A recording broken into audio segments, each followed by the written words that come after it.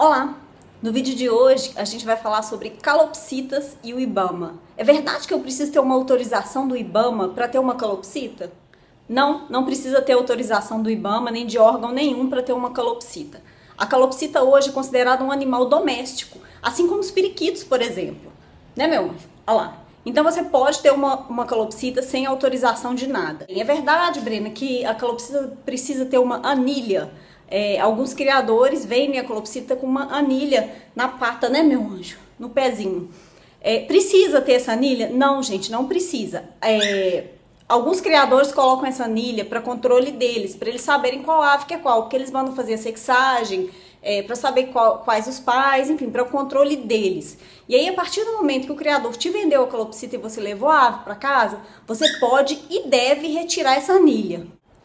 Então, por que, que algumas aves precisam ter anilha? Que aves que precisam ter anilhas? Aves que são da nossa fauna brasileira e que são vendidas em criatórios legais, são criatórios legalizados pelo IBAMA. Como que funciona? É, o IBAMA autorizou um criatório, uma pessoa, um local a criar, por exemplo, papagaios, araras, maritacas. Então esse lugar ele vai criar essas aves é, com autorização do IBAMA, legalmente. Ele vai reproduzir essas aves lá.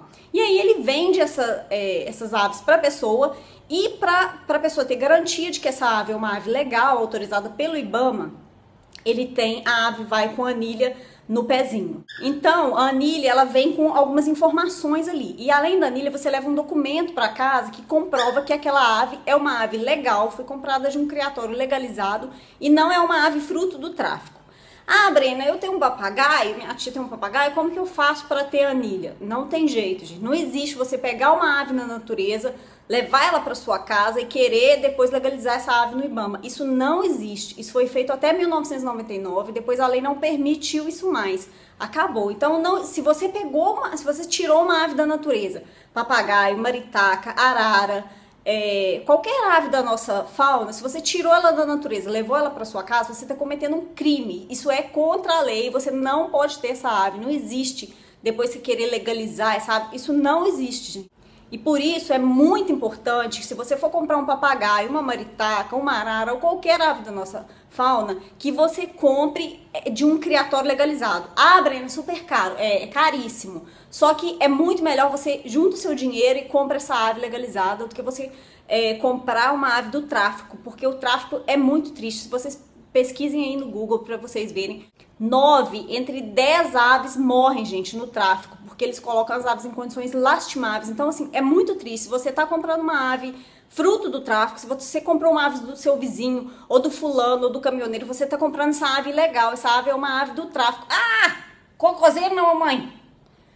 Essa ave é uma ave do tráfico. Então, se você está comprando isso, você está favorecendo esse crime. E, só para constar, quem compra, né, o receptor, como fala? Como fala, meu anjo? É o receptor a pessoa que compra, ela também é criminosa igual quem vende. Então, assim, só existe quem vende porque existe um otário do outro lado que favorece isso. Então, gente, nada de comprar ave do tráfico, não deixe seu vizinho. Se você é, sabe gente que vende, se você sabe gente que está comprando isso, denuncia, liga na polícia, se informa qual que é o número na sua cidade para denunciar, liga no 190, se informa que eles vão te falar como que faz para você denunciar, denuncie se você sabe é, tráfico, mas é isso, né, meu anjo? Mamãe acabou falando tantos assuntos, isso só para falar o quê?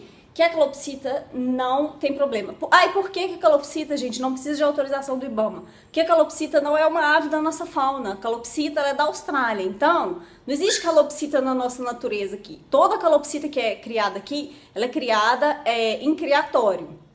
Então, não, ninguém aqui no Brasil vai tirar uma calopsita da natureza e levar para casa. Por isso que não tem problema, por isso que é legal, né, meu anjo? Todo mundo pode ter calopsita, né, meu anjo? Obrigada por assistir, espero que tenham gostado do vídeo. Curtam o vídeo, é, divulgue no seu Facebook, divulgue para seus amigos, vamos passar informação para frente, né, Ginho? Se você gosta desse assunto de aves e de calopsita, se inscreve aqui no nosso canal. É isso, obrigada por assistir e até o próximo.